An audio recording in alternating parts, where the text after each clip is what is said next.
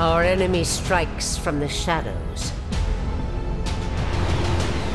Boldly, quickly, ruthlessly. They're looking for something or someone.